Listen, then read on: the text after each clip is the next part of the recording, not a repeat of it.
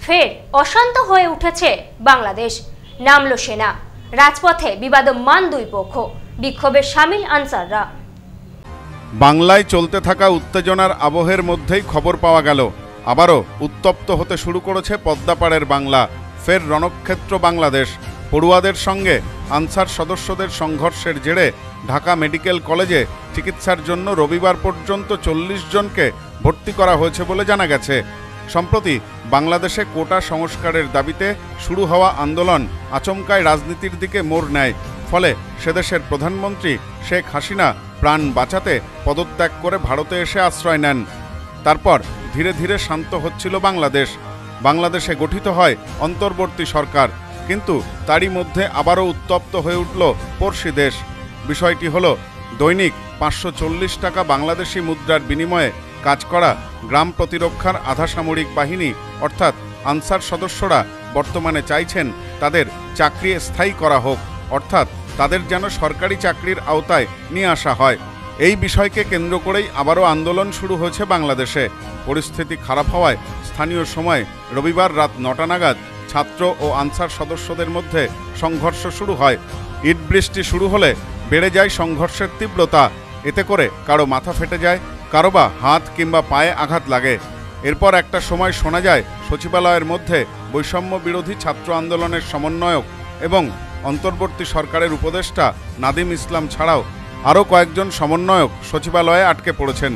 এই খবর শোনামাত্রই ঢাকা বিশ্ববিদ্যালয়ের বিভিন্ন হোস্টেল থেকে বেরিয়ে ছাত্রেরা সচিবালয়ের দিকে অগ্রসর হন। বেশ কিছুক্ষণ দুপক্ষের মধ্যে ঝামেলা চলে। তারপর পরিস্থিতি সামাল দিতে মাঠে নামে পুলিশ এবং সেনাবাহিনী। তারপর ধীরে ধীরে রাত দশটা নাগাদ আনসারের সদস্যরা পিছু হটতে শুরু করলে পরিস্থিতি কিছুটা স্বাভাবিক হয়। ঘটনায় নতুন করে অশান্তির পরিবেশ সৃষ্টি হয়েছে বলে জানা যাচ্ছে। ব্যুরো রিপোর্ট, নিউজ নোম্যান্সল্যান্ড বাংলায় চলতে থাকা উত্তেজনার আবহের মধ্যেই খবর পাওয়া গেল। আবারও উত্তপ্ত হতে শুরু করেছে পদ্মাপাড়ের বাংলা, ফের রণক্ষেত্র বাংলাদেশ। পড়ুয়াদের সঙ্গে আনসার সদস্যদের সংঘর্ষের জেরে ঢাকা মেডিকেল কলেজে চিকিৎসার জন্য রবিবার পর্যন্ত চল্লিশ জনকে ভর্তি করা হয়েছে বলে জানা গেছে। সম্প্রতি বাংলাদেশে কোটা সংস্কারের দাবিতে শুরু হওয়া আন্দোলন আচমকায় রাজনীতির দিকে মোড় নেয়। ফলে সেদেশের প্রধানমন্ত্রী শেখ হাসিনা প্রাণ বাঁচাতে পদত্যাগ করে ভারতে এসে আশ্রয় নেন। তারপর ধীরে ধীরে শান্ত হচ্ছিল বাংলাদেশ। বাংলাদেশে গঠিত হয় অন্তর্বর্তী সরকার। কিন্তু তারই মধ্যে আবারও উত্তপ্ত হয়ে উঠল পড়শি দেশ। বিষয়টি হলো, দৈনিক পাঁচশো চল্লিশ টাকা বাংলাদেশি মুদ্রার বিনিময়ে কাজ করা গ্রাম প্রতিরক্ষার আধা সামরিক বাহিনী, অর্থাৎ আনসার সদস্যরা বর্তমানে চাইছেন তাদের চাকরি স্থায়ী করা হোক, অর্থাৎ তাদের যেন সরকারি চাকরির আওতায় নিয়ে আসা হয়। এই বিষয়কে কেন্দ্র করেই আবারও আন্দোলন শুরু হয়েছে বাংলাদেশে। পরিস্থিতি খারাপ হওয়ায় স্থানীয় সময় রবিবার রাত নটা নাগাদ ছাত্র ও আনসার সদস্যদের মধ্যে সংঘর্ষ শুরু হয়। ইট বৃষ্টি শুরু হলে বেড়ে যায় সংঘর্ষের তীব্রতা। এতে করে কারও মাথা ফেটে যায়, কারও বা হাত কিংবা পায়ে আঘাত লাগে। এরপর একটা সময় শোনা যায়, সচিবালয়ের মধ্যে বৈষম্য বিরোধী ছাত্র আন্দোলনের সমন্বয়ক এবং অন্তর্বর্তী সরকারের উপদেষ্টা নাদিম ইসলাম ছাড়াও আরও কয়েকজন সমন্বয়ক সচিবালয়ে আটকে পড়েছেন। এই খবর শোনামাত্রই ঢাকা বিশ্ববিদ্যালয়ের বিভিন্ন হোস্টেল থেকে বেরিয়ে ছাত্রেরা সচিবালয়ের দিকে অগ্রসর হন। বেশ কিছুক্ষণ দুপক্ষের মধ্যে ঝামেলা চলে।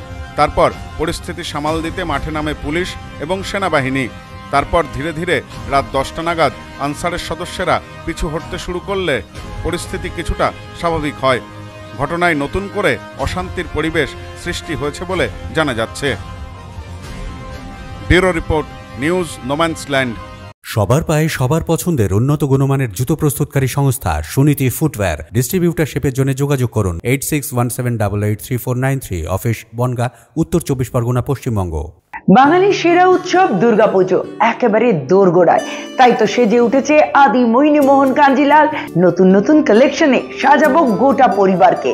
আর তাই তো সেজে উঠেছে আমাদের বনগা শাখা, শিমুলতলার মোড়, যশোর রোড আদি মোহিনী মোহন কাঞ্জিলাল।